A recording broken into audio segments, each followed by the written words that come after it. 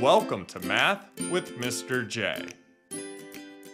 In this video, I'm going to cover the first 10 multiples of 8. Now remember, a multiple is the result of multiplying the given number by an integer. So 1 times 8, 2 times 8, 3 times 8, so on and so forth.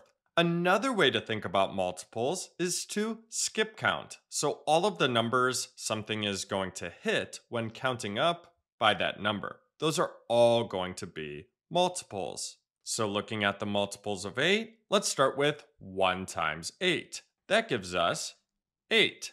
8 is the first multiple of 8. Then we have 2 times 8.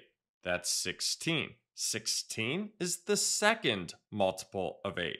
Then we have 3 times 8. That's 24.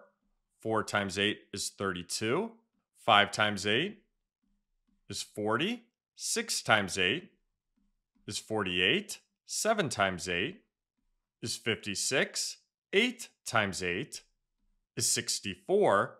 9 times 8 is 72. And 10 times 8 is 80. Those are the first 10 multiples of 8.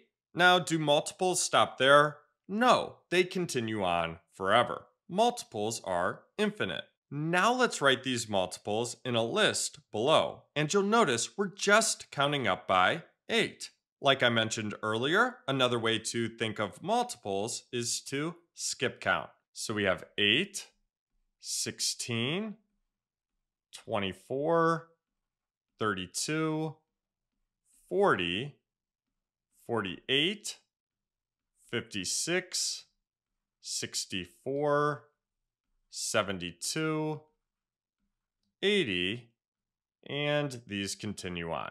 So there you have it. There are the first 10 multiples of 8. I hope that helped. Thanks so much for watching.